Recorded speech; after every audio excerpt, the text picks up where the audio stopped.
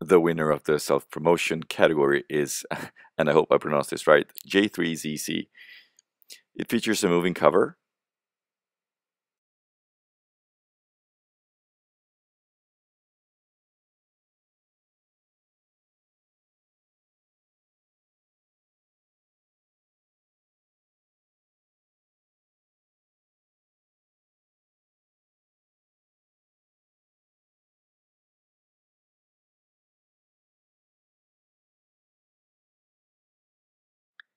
Here's a nice use of layers.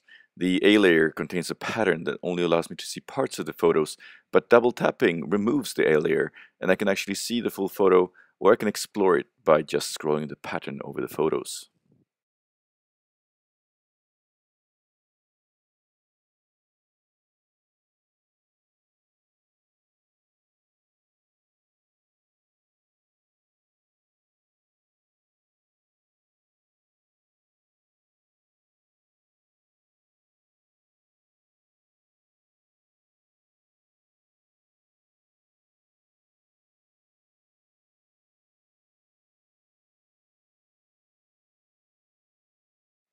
This is interesting for an ad. If an ad catches my eye, I can actually scroll up the logo of the manufacturer instead of seeing it at once.